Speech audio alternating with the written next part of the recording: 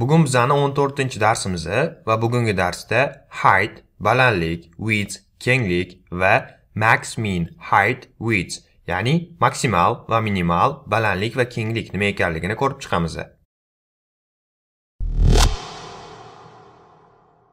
Dars rejamizga keladigan bo'lsak, u 4 ta qismdan tashkil topgan bo'ladi. Birinchi bo'lib biza height, balandlik nima ekanligi, undan so'ng width, kenglik va max height va min heightni ham ko'rib chiqib, darsimizning oxirini esa max width va min width, ya'ni maksimal kenglik va minimal kenglik nima ekanligini ko'rib, tushunib, kod yozib, amalda ko'rib chiqamiz. Unda kelinglar darsimizni birinchi bo'lib height nimaligidan boshlaymiz. height nima ekan? Quyidagi rasmni biz oldingi darslarda ham ko'rgan edik. Biz shu paytgacha content, padding, border, margin nima ekanligini ko'rib chiqdik. Bugun esa biz height va widthni ko'rib chiqamiz. Ko'rishinglar mumkin bu rasmda height bu elementimizning kontentini balandligiga javob beruvchi CSS xossa hisoblanadi. Demak, height bu elementning balandligi. Biz heightni qanaqa ko'rsatib o'tishimiz mumkin? Biz selektor yordamida elementni tanlab olamiz va height CSS xossasini ko'rsatib, o'ng tarafida esa albatta CSS qiymatini ko'rsatib o'tamiz. Heightni har xil o'lchovlarda berib o'tish mumkin. Piksellarda, foizlarda va boshqa o'lchovlarda ham ko'rsatib o'tishimiz mumkin. Quyidagi misolda biz heightni piksellarda ko'rsatib, elementimizni balandligini 200 piksel deb ko'rsatib o'tdik. Kelaylik endi biz shu kodni amalda yozib, brauzerda natijasini ko'ramiz. Uning uchun biz VS Code'ga o'tamiz. Va bu bilasizlar, o'tgan safargi darsdagi kodimiz edi. Endi men bularni o'chirib tashlayman. Endi bitta div yaratib olaman va bunga class kelinglar box deb nom beraman va buni ichiga height uchun misol deb yozaman. Saqladim. Mana ko'rishinglar mumkin bizada height uchun misol degan tekst paydo bo'ldi va bu box klassiga ega bo'lgan blokning ichida. Endi bunga stil berishni boshlaymiz. Box. Birinchi bo'lib kelinglar background color berib olaman. Mana background color berdim va ko'rishinglar mumkin bizani bu divimiz butun kenglikka yoyildi, chunki bu bilasizlar blok element. Agar blok element bo'yicha yokida inline element bo'yicha savolinglar bo'ladigan bo'lsa, HTML da dasturlash kursiga o'tishinglar mumkin va u yerda blok va inline elementni farqini tushuntirib o'tganman. Endi kelinglar bunga boyagidek height berib o'tamiz. Endi bu yerda 200 piksel deb ko'rsatdim, saqladim. Mana ko'rishinglar mumkin, hozir bizani elementimizga 200 pikselga ega bo'lgan balandlikka ega. Buni yana developer toolsni ochib ham tekshirib olishimiz mumkin. Developer toolsni ochib, bu ikonkani bosib, elementimizni tanlab pastga tushadigan bo'lsak, mana ko'rishimiz mumkin elementimiz, ya'ni bu 694 uni kengligi va undan keyingi yozuv esa 200 uni balandligiga javob beradi. Mana ko'rishimiz mumkin, hozir elementimiz 200 piksel balandlikka ega. Bunga yana boshqa qiymatlar ham berishinglar mumkin, masalan 400 piksel. Mana endi elementimiz 400 piksel balandlikka ega bo'ldi. Bu yerda ham box modelda shu balandlikni ko'rishinglar mumkin. Men o'ylayman height nimaligini tushunib oldinglar va bu heightni yana bitta ishlatadigan joyimiz bor. Bu sahifamizni to'liq balandligini band qilish uchun heightni ko'rsatib o'tishimiz kerak. Endi biza heightga 100% deb ko'rsatadigan bo'lsak, u shu sahifamizni to'liq balandligini o'z ichiga olishi kerak. Lekin agar biza bu o'lchov birlikni protsentlarda ko'rsatadigan bo'lsak, u ota-ona, ya'ni parent balandligiga nisbatan shu protsentgacha balandlikka ega bo'ladi. Bu nima degani?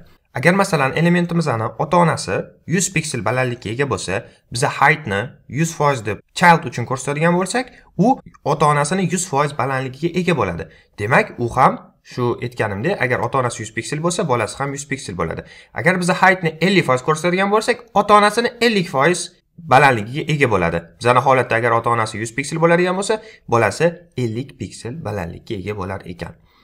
Demak, foizlar shunaqa ishlaydi, tushunib oldik. Foizlar umuman olganda bu o'lchov birliklari bo'yicha yana alohida bo'lim bo'ladi. U bo'limda foiz, piksel, REM, EM hammasini birma-bir ko'rib, yanada yaxshiroq tushunib olamiz. Hozir endi buni misolda ko'rib, yana bir marta ko'rib chiqamiz. Bu yerga o'tdim. Endi kelinglar, bu yerga men 100% deb yozaman. 100% deb yozib saqlaydigan bo'lsam, biz qanaqa natija kutamiz biza? Bizning elementimiz butun sahifamizni to'liq qoplashini kutamiz balandligini. Saqladim. Va ko'rishinglar mumkin, nimagadir bizani elementimiz butun sahifani balandligini o'z ichiga olmadi. Nimaga? Biz ko'rishimiz mumkin. Div elementimiz uchun ota ona element parent element bu body element lekin body elementimizni balandligi ko'rishinglar mumkin 18 pikselga teng endi biza body elementimizga height 100% deb yozib saqlaydigan bo'lsak mana ko'rishinglar mumkin hali ham o'zgarish bo'lmadi. Chunki hali ham body elementimiz 100% balandlikka ega bo'lsa ham bu 18 pikselga teng bo'lyapti. Nimaga? Chunki body elementimizni yana bitta oxirgi ota ona elementi bor. Buni balandligi 34 piksel. Agar endi biza bu html tegimizni ham balandligini heightni 100% ga tenglaydigan bo'lsak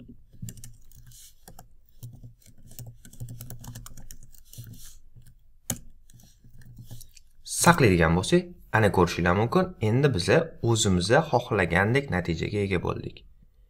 Mana bu yerni olib turadigan bo'lsam mana ko'rishinglar mumkin. Endi elementimiz yuz foizlik balandlikka ega. Bundan keyin yana bitta div yozadigan bo'lsam ikkinchi div deb saqlaydigan bo'lsam mana ko'rishinglar mumkin. Elementimiz 100% balandlikka ega. Birinchi elementimiz box undan keyin esa ikkinchi elementimiz kelayotganini ko'rishimiz ham mumkin. Bu narsani sizlar ko'p veb saytda ko'rgansizlar. Shu veb saytga kirganda birinchi bo'lib ko'radigan blokinglar veb saytinglarni butun balandligini o'z ichiga olardi. Bu qanaqa qilinishini mana tushunib oldinglar. Demak faqatgina boksga yuz foiz berish yetarli emas ekan. Uni ota onasi va uni oxirgi ota onasi htmlga ham yuz foiz shunaqa ko'rsatib o'tishinglar kerak ekan. Man buni ko'rsatib o'tganim agar sizlar faqatgina elementga yuz foiz ko'rsatib uni sahifamizni butun balandligini olishini kutsanglar bu ishlamaydi. Demak mana tushunib oldinglar body va htmlga ham shu foizlarni ko'rsatib o'tishimiz kerak ekan. Man o'ylayman endi height bo'yicha umuman savolinglar qolmadi. Agar savolinglar bo'lsa ham har doimgidek izohlarda qoldirib so'rab ketishinglar mumkin. Endi ikkinchi ko'radigan narsamiz bu width hisoblanadi. Width nima ekan? Width bu elementning kengligi va bu box modeldagi oxirgi ko'radigan xossamiz hisoblanadi. Mana bu yerda ko'rib turishinglar mumkin bu kontentni kengligiga javob beruvchi css xossasi width deb nomlanadi. Uni ham deyarli height bilan bir xil ko'rinishda berib o'tishimiz mumkin. Yana selektor nomi va endi heightni o'rnida width deb yozib undan keyin piksellarda yoki foizlarda yana ko'rsatib o'tamiz. Endi biza buni kod yozib yana amalda ko'ramiz. Kodga o'taman. Bundan oldingi yozgan kodlarimni o'chiraman. Va endi kerakli faqatgina background colorini qoldirib bu divni o'chirib tashlab qayta saqlaydigan bo'lsam mana boyagi misol. Faqat endi height emas width uchun misol deb yozaman. Saqladim. Endi kelinglar bunga man width ko'rsataman. Width ko'rsatib 200 piksel ko'rsatib saqlaydigan bo'lsam mana endi bizani elementimiz 200 piksel kenglikka ega bo'ldi. Buni yana developer toolsni ochib ko'rishinglar mumkin. Mana rostdan ham elementimiz. Endi birinchi keladigan son bu widthga javob berar ekan. Bu 200 pikselga teng. Elementimizga bir vaqtni o'zida width ham height ham ko'rsatib o'tishinglar mumkin. Xohlasanglar buni misolda men ko'rsataman. 100 piksel deb saqlasam. Mana elementimiz 200 piksel kenglikka va 100 piksel balandlikka ega bo'ldi. Undan tashqari bu widthni foizlarda ko'rsatib o'tsanglar bo'ladi. Bu blok element bo'lgani uchun shundoq ham 100 foizlik kenglikka ega bo'ladi. Lekin buni masalan 50 foiz deb yozib saqlaydigan bo'lsanglar mana rostdan ham elementimiz hozir 50 foizlik kenglikka ega. Yana slaydga qaytib o'tamiz. Demak biz tushunib oldik width elementimizni kengligiga javob berar ekan va uni shunaqa ko'rinishda yozib berib o'tishimiz mumkin. Endi biza height va width nima ekanligini yaxshi tushunib oldik. Keyingi ko'rib chiqadigan narsamiz bu max height va min height. Kelinglar bu nima ekanligini ko'ramiz. Demak max height nima? Max height bu elementimiz ega bo'lishi mumkin bo'lgan eng katta balandlik qiymatini belgilaydi. E'tibor beringlar elementimizni balandligini emas eng katta balandlik qiymatini. Nima degani uning balandligi ko'rsatilgan qiymatdan kichkina bo'lishi mumkin. Lekin hech qachon katta bo'la olmaydi. Demak height bu elementimizni balandligini belgilasa max height elementimizni ega bo'lishi mumkin bo'lgan eng katta balandlikni belgilab berar ekan. Buni misolda yana bir marta tushunib olamiz. Uning uchun kelinglar misolni ko'rib chiqamiz. Bu yerda bizada paragraf bor. Paragrafimizni klassga ega va uzun tekst ko'rishimiz mumkin. Undan tashqari bu paragrafimiz mana background color ya'ni orqasini qizil rangga o'tkazyapmiz va e'tibor beringlar max height 30 pikselga ega ekan. Buni amalda ko'rib yanada yaxshiroq tushunib olamiz. Uning uchun men divni o'zgartiraman stil qismini o'chirib turaman. Mana bizada hozir lorem ipsum boyagi tekst bor. Endi paragraf bir deb yozib bunga background color beradigan bo'lsam yanada yaxshiroq tushunib olasizlar red saqladim. Mana hozir ko'rishinglar mumkin elementimiz ma'lum bir balandlikka ega bo'ldi. Ya'ni o'zini kontentini balandligiga teng bo'lgan balandlikka ega bo'ldi. Bu yerda ham ko'rishinglar mumkin mana bir yuz sakkiz. Endi agar biza bu yerda max height o'ttiz piksel deb yozib saqlaydigan bo'lsam mana ko'rishinglar mumkin endi elementimiz o'ttiz piksel balandlikka ega bo'ldi va bu u ega bo'lishi mumkin bo'lgan eng katta balandlik hisoblanadi. Bu nima degani? Agar elementimizni balandligi 30 pikseldan kichkina bo'lsa u o'sha balandlikni o'ziga oladi lekin undan katta bo'lib ketadigan bo'lsa 30 pikseldan hech qachon oshmaydi. Masalan kelaylik tekstni ma'lum bir qismini o'chirib tashlayman mana kichkina tekst qoldi. Hozir bizani balandlik 30 pikselga teng. Endi saqlasam endi ko'rishinglar mumkin. Bizani balandlik 18 pikselga teng bo'lib qoldi. Nimaga? Chunki max height bu maksimal balandlikni beradi. Bu elementimizga yetadi. San 30 piksel maksimum balandlikka ega bo'lishing mumkin. Lekin undan kichkinaga ham ega bo'lishing mumkin deydi. Lekin 30 pikseldan oshmasa bo'ldi. Hozir ham buni ichidagi kontent kichkina bo'lgani uchun 18 pikselga ega bo'ldi. Chunki unga yetilgan 30 pikseldan oshmasa ham bo'ldi. Undan kichkina balandlikka ega bo'lsa ham bo'laveradi deyilgan. Bu ham xuddi shunaqa oshmagani uchun o'ziga 30 pikseldan kichkina bo'lgan 18 piksel balandlikka ega bo'ldi. Buni heightdan farqi nima? Agar biza maxni olib tashlab heightni o'zini yozadigan bo'lsak saqlaydigan bo'lsak mana ko'rishinglar mumkin hozir bizani elementimiz 30 piksel balandlikka ega bo'lib qoldi. Chunki height bu har doim aytadi san 30 pikselga ega bo'lishing shart. Max height desa san maksimum 30 pikselga undan kichkina bo'lishi ham mumkin balandliging degan narsani ko'rsatadi. Man o'ylayman buni ozgina bo'lsa ham tushunib oldinglar. Agar tushunmagan bo'lsanglar izohlarda yana ko'rsatib o'tinglar. Max height qachon ishlatiladi?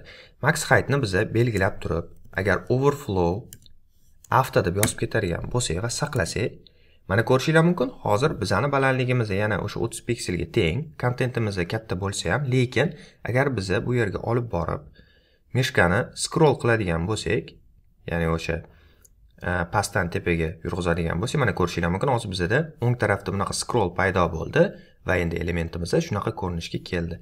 Endi buni masalan yetmish qiladigan bo'lsam yanada yaxshiroq ko'rinadi. Mana elementimizda shunaqa scroll ko'rinishga keldi. Demak shunaqa max height orqali quyidagi natijaga ega bo'lishimiz ham mumkin ekan. Man o'ylayman max height ozgina bo'lsa ham tushunarli bo'ldi. Endi xuddi shunaqa faqat min height degan narsa bor. Ya'ni minimum balandlik. Bu nima? Elementimizni ega bo'lishi mumkin. Bo'lgan eng kichik balandlik qiymatini belgilaydi. Uning balandligi ko'rsatilgan qiymatdan katta bo'lishi mumkin. Demak uni qiymati katta bo'lishi mumkin lekin hech qachon kichik bo'la olmas ekan. Bundan oldingi max height xuddi shuni teskarisi edi. Demak undan kichkina bo'lishi mumkin lekin ko'rsatgan qiymatimizdan hech qachon oshmaydi. Min height bo'lsa teskarisi. Undan kichkina bo'lishi mumkin emas. Eng kichkina biz o'sha limitni ko'rsatamiz lekin undan katta bo'lib ketsa bu mumkinligini bildiradi. Buni yana kod yozib ko'ramiz kelinglar yana bu paragrafni ko'chirib olaman. Bu yerga joylayman. Endi esa boya max height ko'rsatgan bo'lsak endi min height ko'rsataman. Undan oldin mana ko'rishinglar mumkin. Paragrafimiz quyidagi ko'rinishga ega. Endi overflowni o'chirib tashlab buni o'ttiz deb endi min height ko'rsatib saqlaydigan bo'lsam mana ko'rishinglar mumkin. Endi elementimiz kontenti kichkina bo'lsa ham minimum o'ttiz pikselga ega. Agar biza tekstni kattalashtiradigan bo'lsak ya'ni ko'paytiradigan bo'lsak kontentni mana tekstni ko'paytirdim ancha uzun tekst bo'ldi saqlasam. Lekin endi elementimiz 72 pikselga ega bo'ldi. Nimaga? Boya aytganimdek min height. Nima deydi? Element san man bergan qiymatdan kichkina balandlikka ega bo'lishing mumkin emas deydi. Ya'ni san eng minimum 30 piksel balandlikka ega bo'lishing mumkin. Lekin undan oshib ketsa mayli deydi. A max height xuddi shuni teskarisi edi. San maksimum shunga ega bo'lishing mumkin kichkina bo'lsa mayli. Oshmasang bo'ldi deganni bildirardi. Demak min hayt nimaligini ham tushunib oldik. Endi xuddi shunaqa demak bu elementimizni balandligiga taalluqli bo'lsa xuddi shunaqa faqat elementimizni kengligiga taalluqli bo'lgan max width va min width xossalarimiz mavjud. Uni ko'rib chiqamiz. Birinchi ko'radiganimiz bu max width bu elementimizga ega bo'lishi mumkin bo'lgan eng katta kenglik qiymatini belgilaydi. Eng katta. Uning kengligi ko'rsatilgan qiymatdan kichkina bo'lishi mumkin. Xuddi shunaqa max heightga o'xshab lekin katta emas. Buni yana misolda ko'ramiz. Bu yoqda bizda ikkita boks bor. Boks bir boks ikki.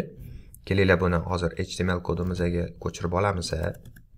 Endi man buni o'chirib turaman. Saqladim. Mana bizada ikkita boks bor. Elementning kengligi 500 piksel degan va ikkinchisi elementimizga ega bo'lishi mumkin bo'lgan eng katta kenglik. Endi buni bu css qismini ham ko'chirib ko'chirib oldim man tushuntirib o'taman css qismini ham.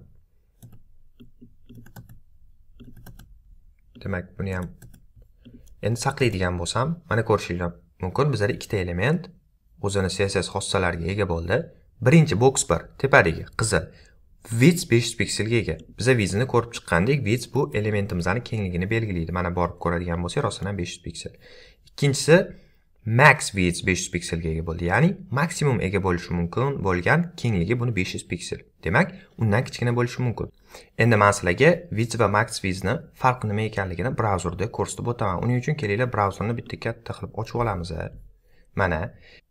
Va endi sizlar agar brauzerni masshtabini kichraytiradigan bo'lsanglar ya'ni quyidagi ko'rinishga olib keladigan bo'lsanglar mana ko'rishinglar mumkin. Bizada pastki qismda scroll gorizontal scroll hosil bo'ldi. Buni yanada yaxshiroq ko'rinish uchun buni 100 ming piksel ikkinchisini ham 1000 pikselga olib kelaman saqlayman. Mana endi agar qaytib o'targan bo'lsa endi bu yerda ham kelinglar 1000 piksel deb qo'yaman. Yaxshiroq tushunarli bo'lishi uchun saqladim. Brauzerga o'targan bo'lsa mana ko'rishinglar mumkin. Birinchi elementimizni hali ham 1000 piksel kenglikka ega va shuning uchun bizani brauzerimizda gorizontal scroll hosil bo'ldi. Mana ko'rishinglar mumkin bu bir juda noqulay narsa hisoblanadi va iloji boricha bu narsadan qochishga harakat qilinadi. Lekin ikkinchi elementimizni ko'rishinglar mumkin u hali ham ekranni to'liq kengligini olib turibdi va bu shu ko'rsatib o'tgan max viz xossasi tufayli. Max viz nima deydi? Max viz quyidagi qiymatdan oshmasa ham bo'ldi. Lekin undan kichkinaroq qiymatga ega bo'lishi mumkin degani. Ya'ni bizani ekranimiz kichraygandan keyin albatta bu ekranimizni kengligi ham kichrayib boradi va biza shu maxfis ko'rsatganimiz uchun shu elementimiz ham o'zini qiymatini kichraytirib boraveradi. Endi buni developer tools orqali ham ko'rishimiz mumkin. Masalan agar birinchi elementimizni ko'radigan bo'lsak u hali ham ming kenglikka ega lekin ikkinchisini ko'radigan bo'lsak mana u to'rt yuz sakson to'rt va ekranimizni o'zgartirishimiz bilan u yana o'zgarishini ko'rishimiz ham mumkin. Chunki boya aytganimdek max viz bu shu qiymatgacha bo'lgan kenglikka ega bo'lishi mumkin undan oshmasa bo'ldi degani viz esa har doim shu qiymatga ega bo'lishing kerak degani mana agar buni oshirib mingdan oshiradigan bo'lsak mana ko'rishinglar mumkin mingdan hech qachon oshmaydi. Lekin max vizimizni agar kichaytiradigan bo'lsak bu kichrayib borishini ko'rishimiz ham mumkin. Demak biza hozir max viz nima ekanligini ham tushirib oldik. Endi kelinglar buni yonma yon qo'yib olamiz. Va endi keyin ko'radigan narsamiz bu min width ya'ni elementimiz. Ega bo'lishi mumkin bo'lgan eng kichik kenglik qiymatini belgilaydi. Bu degani uning kengligi ko'rsatilgan qiymatdan katta bo'lishi mumkin lekin hech qachon kichkina bo'lmaydi. Agar biza elementimizga min width ko'rsatsak unga aytamiz san minimum shu kenglikka ega bo'lishing kerak. Undan oshib ketsa ham bo'ladi lekin hech qachon undan kichkina kenglikka ega bo'la olmaysan deb min vizni ko'rsatib o'tamiz. Buni yana misolda kelinglar bu spanni ko'chirib olamiz saqladim va albatta stildan hozir olib tashlab turamiz mana ko'rishinglar mumkin min vid uchun misol degan tekst paydo bo'ldi. Endi agar biza quyidagi stilni ko'chirib olib bu yerga joylashtiradigan bo'lsak saqlasak mana ko'rishimiz mumkin. Elementimiz kichkina kontentga ega bo'lsa ham u minimum 200 piksel kenglikka ega. Agar bunga yana kontent qo'shadigan bo'lsam kerakli shu tekstni bir ikki marta yozib chiqaman. Yozdim mana lekin uni kengligi dinamik tarzda o'zgarib bordi. Demak minimum 200 piksel undan oshsa bo'ladi lekin hech qachon tushishi kerak emas. Buni vidsdan farqi agar vids ko'rsatsam u har doim 200 pikselga ega bo'lardi. Bu kontentimiz kichkina bo'ladimi katta bo'ladimi farqi yo'q. Har doim 200 piksel. Lekin min width yozadigan bo'lsak u kontentimiz kattalashgan sari o'zini kengligini oshirib boradi. Quyidagi display inline block nima ekanligini hali bilmaysizlar va buni man keyingi darsda yaxshilab tushuntirib o'taman.